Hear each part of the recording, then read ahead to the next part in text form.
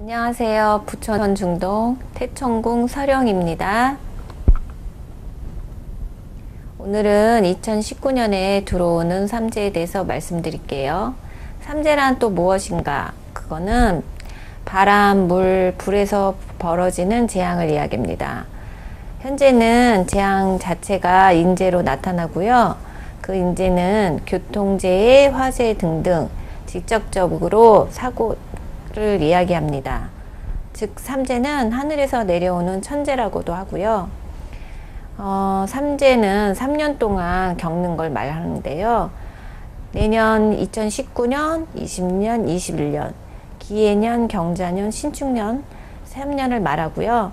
기해년에 들어오는 삼재, 경자년에는 묵는 삼재, 신축년에는 날 삼재라고 말합니다.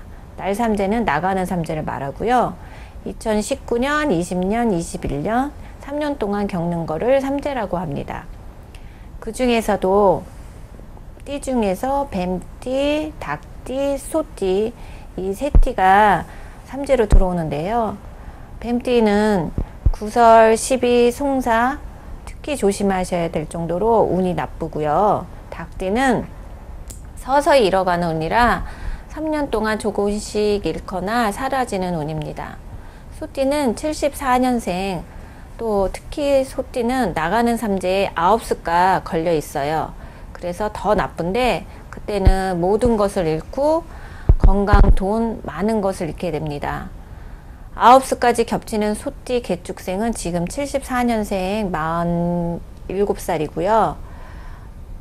그 삼재들은 정말 죽어나가야 될 정도로 많이 힘들고 특별히 3년 동안은 조심하셔야 합니다.